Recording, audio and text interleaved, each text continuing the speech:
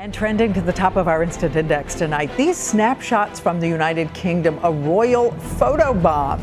The Queen making a cameo in selfies. Look on the other side of the fence there. There she is with her hat, snapped by athletes of the Commonwealth Games in Scotland.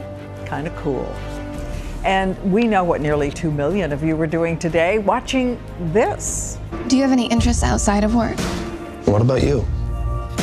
I'd like to know more about you. It is the new trailer for Fifty Shades of Grey, due out next year, and the lead role, Dakota Johnson. You may not know her name, but you may know her parents right there Hollywood veterans Melanie Griffith and Don Johnson.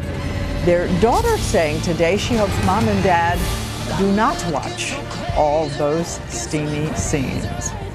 And tonight it's official. A new study is out confirming what so many dog lovers already know. A man's best friend has a jealous heart when owners ignore them in favor of other dogs or anyone else. So many of you sent us evidence from your own homes, like Benny here. Watch what happens when Benny's owner tries to play with the smaller brown dog. Benny is simply not having it. And look at this one Bailey, the dog. His eyes say it all.